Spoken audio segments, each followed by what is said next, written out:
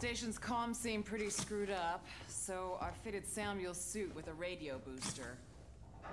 I can only keep the Torrens in transit for 24 hours. You'll have heard from us by then. I love these spacesuits. They're like, oh, do we make the generic spa- astronaut spacesuits? It's like, yeah, but also kind of make them look like half plate.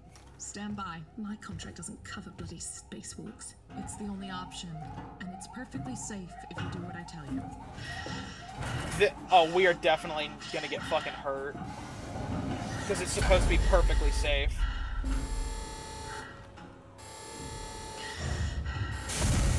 Depressurizer. Fuck. Hating this. Just shadow me, Taylor. You Taylor. Taylor, I'm with you, baby. Like this is this is fucked. I 100% agree. As cool as that looks, I am not spacewalking. I don't care how much beautiful violin you put behind it. I'm not going out there. My God, Ripley. You're doing good, Taylor. Oh fuck!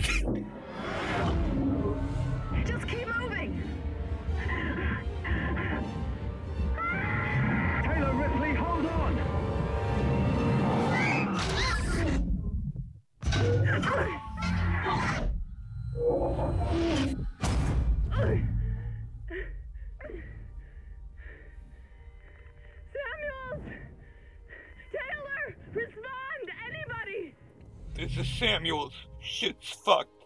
Please send emergency batteries.